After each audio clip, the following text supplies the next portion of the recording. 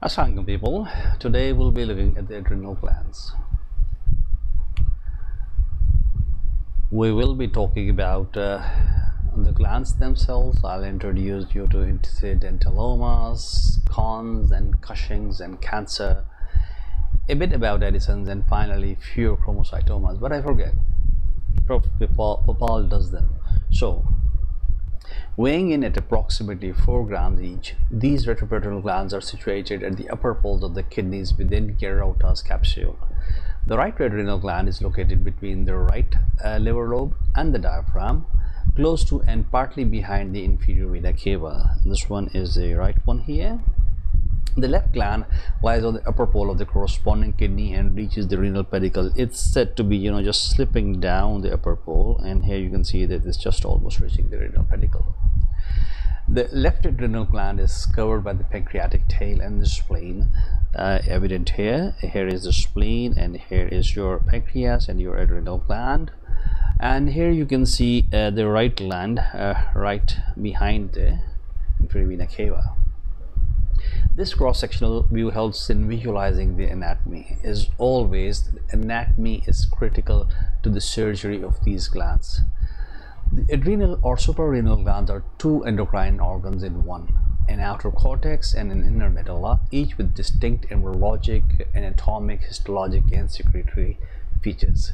The cortex, this one here, forms from the mesodermal cells uh, while the medulla forms from the neuroectodermal cells which migrate here. So two distinct cell glands. The adrenal cortex is characterized by a zonal configuration. The outer zona glomerulosa contains small compact cells. The zona fasciculata can be identified by the larger lipoid cells arranged in a radial pattern. Here you can see this one. This one is your zona glomerulosa. And uh, compact and pigmented cells characterize the inner zona reticularis uh, visible here. The adrenal medulla consists of a thin layer of large chromosomal cells which store catecholamine granules. The adrenal glands secrete mineralocorticoids, glucocorticoids, and the adrenal androgens and the catecholamines. I do know that you are very well aware of what all these hormones are doing. The mineralocorticoids, as the name suggests, manage the minerals, sodium and potassium in the body. Glucocorticoids are involved in numerous metabolic and immunologic effects, including glucose and lipid metabolism, inhibiting immunological response, uh, affecting fat distribution, wound healing, and bone mineralization, and causing euphoria or rarely depression. An incidentaloma is an adrenal mass detected incidentally by imaging studies conducted for other reasons not known previously to have been present or causing symptoms. Incidentalomas may be detected on imaging studies in around 1% of patients. When an incidentaloma is identified, a complete history and clinical, uh, clinical examination is required. Um, occasionally, a previous occult uh, endocrine disturbance will come to light a biochemical workup for hormone excess and sometimes additional imaging studies are also needed. Uh, the main goal is to exclude a functioning or malignant adrenal tumor. More than 75 of these uh, percent of these tumors are non-functioning adenomas, almost 78 percent. But Cushing's adenomas, pheochromocytomas, metastases, adrenocortical carcinomas, and Conn's tumors can all be found this way. Investigating an incidentaloma include uh, serum electrolytes, morning and midnight, plasma cortisol measurements. We know cortisol secretion is a diurnal variation, androgen levels, and free metanephrines. 24-hour urine specimens measure catecholamines, metanephrine, which is the most specific test for a pheochromocytoma, and VMA for medullary tumors, while cortisol and ketosteroid levels are useful for adrenal cortical tumors. If a pheochromocytoma is suspected, a clonidine suppression test or a glucagon stimulation test can be performed to confirm the diagnosis. Cross-sectional imaging such as CT seen here or an MRI should be perform performed in all patients with adrenal masses. The likelihood of an adrenal mass being an adrenocortical carcinoma increases with the size of the mass. So there's a 25% 25% likelihood of a tumor being malignant if it is greater than 4 centimeters. Adrenal metastases are likely in a patient with a history of cancer elsewhere, and the sole indication for biopsy of an adrenal mass is to confirm a suspect, suspected metastasis from a distant primary site. Here you can see the normal adrenal glands, arrowed ones. This one is the left one, and here is the right one. A word of caution for biopsying adrenal masses always exclude a pheochromocytoma first as release of catecholamines by the intervention may trigger a severe hypertensive crisis. Here we can see a, a, an adrenal mass being biopsied under imaging. Any non-functioning adrenal tumor greater than 4 centimeter in diameter and smaller tumors that increase in size over time should undergo surgical resection. Non-functioning tumors smaller than 4 centimeters should be followed up after 6 monthly intervals up to 24 months by imaging and hormonal evaluation. Remember, we want to see if it is hormonally active and if its size is increasing. So, if the tumor remains non-functioning and stable in size, surveillance can be discontinued. Repeated frequent imaging using ionizing radiation can lead to dangerous exposure, exposure to radiation and should be avoided. Repeated MRIs with contrast also risk uh, toxicity due to the contrast itself. We come to primary hyperaldosteronism. It is defined by hypertension, hypokalemia, and hypersecretion of aldosterone. In PHA, plasma renin activity is suppressed. Among patients with hypertension, the incidence of hypokalemic PHA is approximately 2%. Recent studies have revealed that up to 12% of hypertensive patients have PHA with normal potassium levels. Thus, potassium levels are an inconsistent diagnostic feature of this disease and cannot be relied on to confirm or exclude it. The most frequent cause of a PHA with hypokalemia is a unilateral adrenocortical adenoma. This is called a Conn's adenoma and the syndrome is a Conn syndrome. In 20 to 40% of cases, bilateral micronodular hyperplasia is causative. Now, rare causes of PHA are bilateral uh, macronodular hyperplasia, glucocorticoid suppressible hyperaldosteronism, or an adrenocortical carcinoma. In the subset of patients with normokalemic PHA, 70% have hyperplasia and 30% unilateral adenomas. Here, this is a Cushing's adenoma, this one here. Oh, sorry, a Conn's adenoma of the left adrenal gland, and you can see that this is the normal shaped adrenal gland itself. Now, most patients are between 30 and 50 years of age uh, with a female predominance. Apart from hypertension and hypokalemia, patients complain of non-specific symptoms such as headache, muscle weakness, cramps, intermittent paralysis, polyuria, polydipsia, and nocturia. Here we see a classic uh, canary-colored Conn's adenoma. The key feature of the biochemical diagnosis is the assessment of potassium level, number one. But as we said, they're not very reliable. And the second one is the aldosterone to plasma renin activity ratio. Antihypertensive and diuretic therapy which cause hypokalemia and influence the renin angiotensin aldosterone system have to be discontinued once the biochemical diagnosis is confirmed mri or ct scans should be performed to distinguish unilateral from bilateral disease Conn's adenomas usually usually measure uh, between 1 to 2 centimeters and are detected by CT with a sensitivity of 80 to 90 percent. Micronodular changes and small adenomas are often underdiagnosed. Um, but thin cuts uh, CT scans do improve the localization. Here we can see a adenoma. Now, an apparent unilateral mass could be a non-functioning tumor in a patient with bilateral micronodular hyperplasia.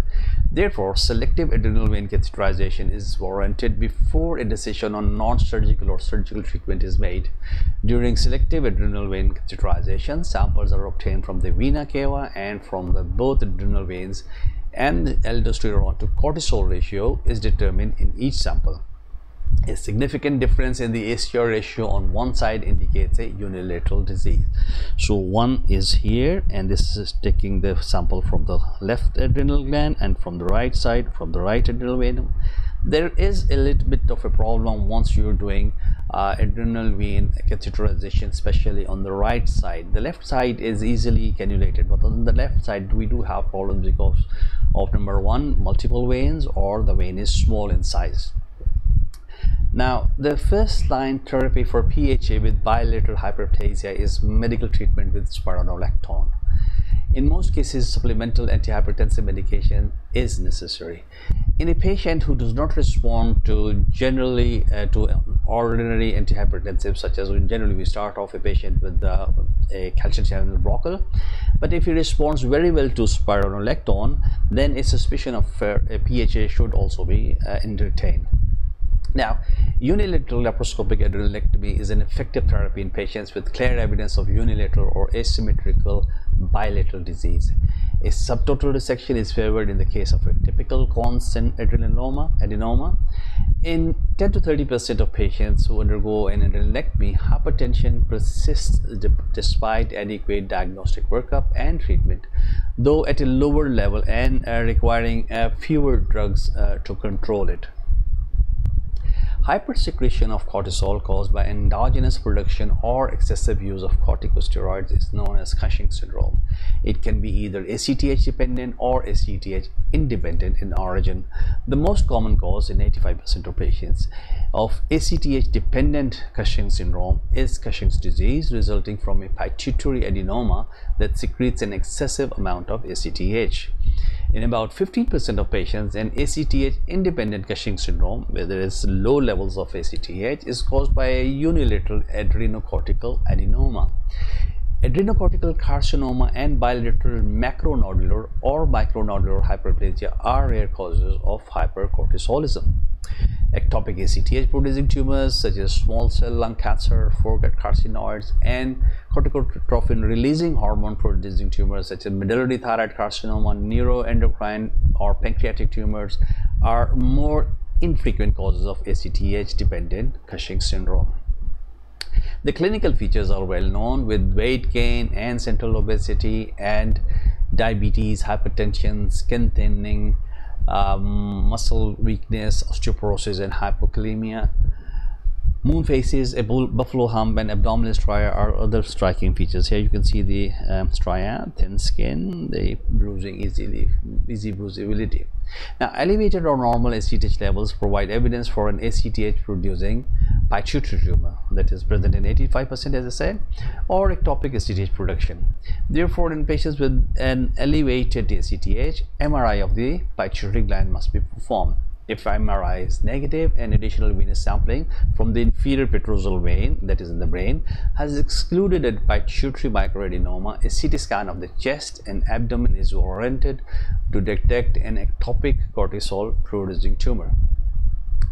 In patients with suppressed ACTH levels, a CT or MRI scan is performed to assess the adrenal glands. Subclinical Cushing syndrome is diagnosed if clinical symptoms are absent in the face of abnormal cortical secretion.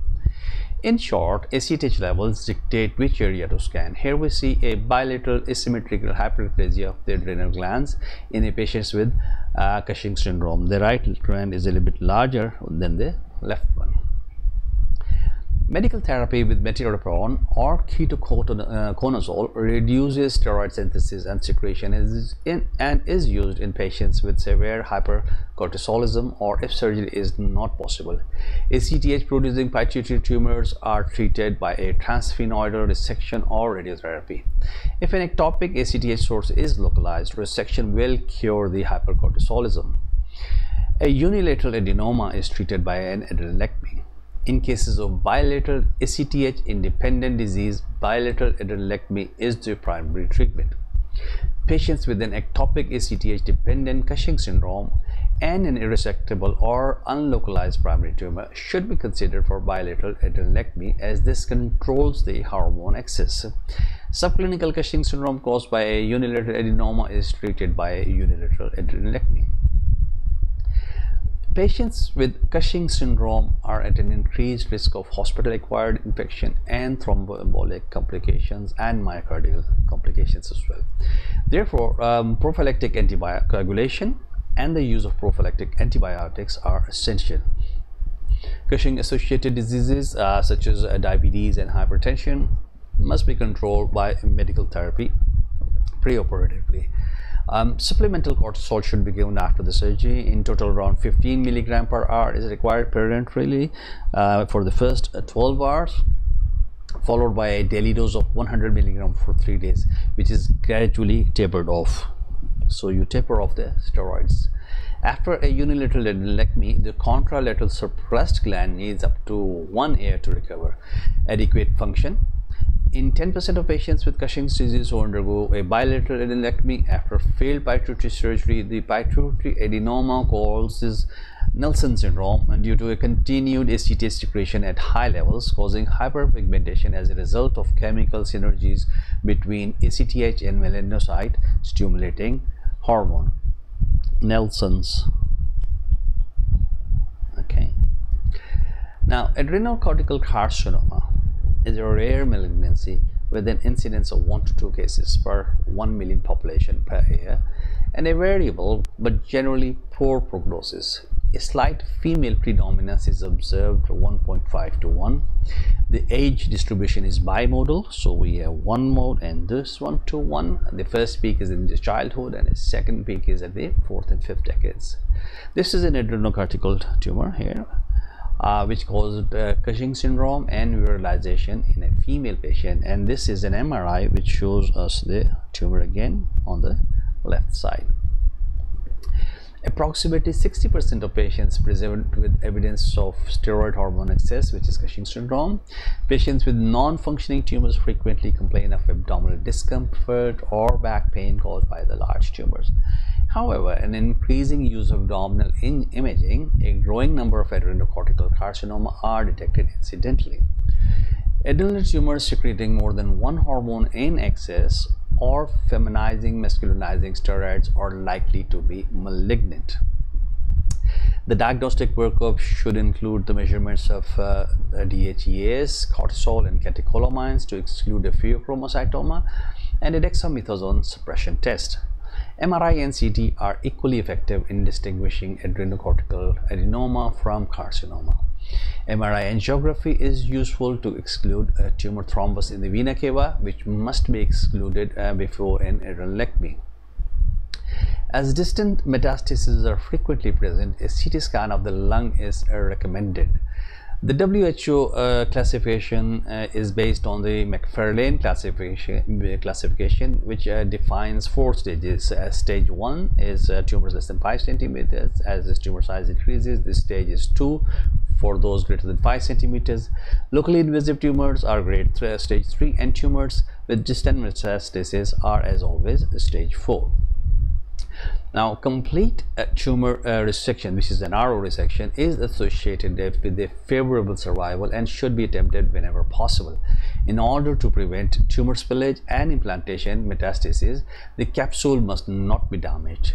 En-bloc resection with removal of locally involved organs is often required in case of a tumor thrombus in the vena cava, the assistance of a cardiac surgeon is sometimes needed so if you have a tumor here um, sorry we were here. If you have a tumor here and uh, you want to this is a part of uh, the lymph nodes and you've got the uh, kidney here and you want to do an en bloc resection. Now laparoscopic adenectomy is associated with a high incidence of local recurrence and cannot be recommended um, tumor debulking plays a role in functioning tumors to control the hormone excess. Uh, for example, if it is involving the inferior vena cava, you cannot remove it and you just debulk it so that at least uh, the hormonal excess is controlled. Patients should be treated with uh, postoperatively with the mitotane alone or in combination with etoposide, doxorubicin and cisplatin. Adjuvant radiotherapy may reduce the rate of uh, local recurrence. After surgery, uh, restaging every three months is required as the risk of tumor relapse is high and prognosis depends on the stage of the disease and the complete removal of the tumor. So patients with stage 1 or 2 disease, uh, that is tumors 5 and more than 5 have a 5-year survival rate of 25%, whereas patients uh, in stage 3 with the local involvement and stage 4 distant metastasis have 5-year survival rates of just 6%, 0% respectively. We come to primary adrenal insufficiency. It's caused by the loss of function of the adrenal cortex. It was first described by Thomas Addison in 1855. An early diagnosis is a clinical challenge even today. Symptoms are only evident when about 90% of the adrenal cortex is destroyed. A secondary adrenal insufficiency is defined as a deficiency of pituitary ACTH secretions, and the tertiary uh, um, adrenal deficiency is uh, provoked by a loss of the hypothalamic CRH secretion and is caused by either therapeutic glucocorticoid administration, a brain tumor, or irradiation. So, um, primary adrenals, secondary the pituitary and the tertiary is the hypothalamus now these diseases in this this long list they result in destruction of the adrenal glands with a resultant uh, insufficiency of the adrenal hormones. Now, acute adrenal insufficiency usually presents as shock in combination with fever, nausea, vomiting, abdominal pain, hypoglycemia, and electrolyte imbalance. The Waterhouse-Friderichsen syndrome is a bilateral adrenal infarction associated with meningococcal sepsis. Here you can see in this patient this meningococcal rash here and is rapidly fatal unless immediately treated. Because of the intestinal symptoms and fever, the so-called uh, uh, Addisonian crisis is often misdiagnosed and an acute abdominal as an acute abdominal uh, condition. When symptoms develop over time, patients present with severe anorexia, weakness, and nausea. As a result of negative feedback, ACTH and pro-opiomelanocortin level levels increase and cause hyperpigmentation of the skin and mucosa. Hypotension, hyponatremia, hyperkalemia, and hypoglycemia are commonly observed. Here we see hyperpigmentation on the extensor surfaces, on this skin creases in the hands, and the plaques on the gums. Some patients have uh, vitiligo and hyperpigmentation as is seen here, vitiligo and then hyperpigmentation. The diagnosis of adrenal insufficiency is made using the ACTH stimulation test. Basal ACTH levels are found to be high with cortisol levels decreased. There is no rise in cortisol levels following the exogenous administration of ACTH, which is also known as the um, Synacthen test. So, a Synacthen test. If a patient uh, displays features of adrenal insufficiency, treatment must be instituted immediately before the biochemical diagnosis. Initial blood samples can be used for later determination of ACTH and cortisol levels. In addition to intravenous administration of hydrocortisone, 100 milligram every 6 hours, 3 liters of normal saline is given in 6 hours under careful cardiovascular monitoring concomitant infections which are frequently present uh, and require aggressive antibiotic treatment chronic adrenal insufficiency is treated by replacement therapy with daily, daily oral hydrocortisone 10 milligram per square meter of the body surface area and fludrocortisone 0.1 milligram Patients must be advised about the need to take lifelong glucocorticoid and mineralocorticoid replacement therapy. To prevent an Addisonian crisis, patients must be aware of the need to adjust the dose in case of illness or stress. If patients with adrenal insufficiency are scheduled for surgery, appropriate steroid cover uh, must be administered. Now we come to the surgery itself. Laparoscopic or retroperitoneoscopic adrenalectomy is the gold standard in the resection of adrenal tumors, except for those tumors with signs of malignancy. As we said, we don't want the seeding. The laparoscopic uh, transperitoneal approach offers a better view of the adrenal region and, and is easier to learn, as most surgeons are familiar with the transperitoneal view. But the advantage of the retroperitoneoscopic approach is the minimal dissection required. You just go right into the place where it is, where the adrenal glands are. And since this is an extra abdominal procedure, in the case of small bilateral tumors or in patients with hereditary tumor syndromes, a subtotal resection is warranted to avoid steroid dependence. The mortality rate ranges from 0 to 2% in specialized centers. An open approach is considered if radiological signs, distant metastasis, and large tumors that is greater than 8 to 10 centimeters or a distinct hormonal pattern suggest a malignancy. The surgical access in these cases is usually a thoracoabdominal one. Here you can see this is the abdominal tumor, as the adrenal tumor, the inferior vena cava, and the adrenal vein. Knowledge of the anatomy of the adrenal region is essential as anatomical landmarks guide the surgeon during the surgery. If these landmarks are respected, injury to the inferior vena cava or renal vein and the pancreatic tail or the spleen can be avoided. Careful hemostasis is essential as small amounts of blood can impair the surgeon's view.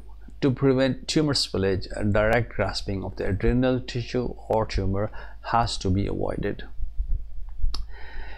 The patient is positioned uh, right side up in this right case with the table broken. So the table is broken like this. Now three ports are used to start off. In this one you can see one two three but four. They, they've added a fourth one. So the peritoneum is divided two centimeter below the edge of the liver. The liver is retracted up and off the adrenal gland. The gland is identified and mobilized gently and the vein is secured with a clip. Here you can see a clip being applied to this vein and this is the liver here and this is the adrenal uh, tumor and the gland is removed in a plastic uh, uh, bag. Now, for the left uh, adrenal uh, uh, the position is the mirror image of the right adrenalectomy. It's the same thing, but the left side is up with the table broken. Uh, the incision and of the Gerota's fascia is then followed by identification of the adrenal vein, which runs into the renal vein in the space between the medial aspect of the kidney and the posterior aspect of the pancreatic tail. So you can see this is the pancreatic tail and this is the kidney here and this is the inferior uh, the uh, adrenal vein.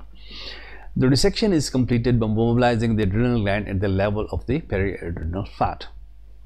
The spleen and pancreatic tail in this view have been mobilized uh, to and retracted anteromedially to expose the adrenal gland. The cleft of the open book, this is a book here and this is like this and, and it's developed from the superior to inferior direction to identify the inferior phrenic vein and the adrenal vein. For a retroperitoneoscopic uh, approach, the patient is placed prone. Note the bolsters and the compression devices on the legs here, which are so to prevent uh, thromboembolism. Now, the first port is placed at the distal end of the 12th rib with the patient uh, in this prone position. Here is the 12th rib and the first port, second port, and the third port. After a digital dissection into the, into the retroperitoneum, the Gerota's fascia is displaced ventrally.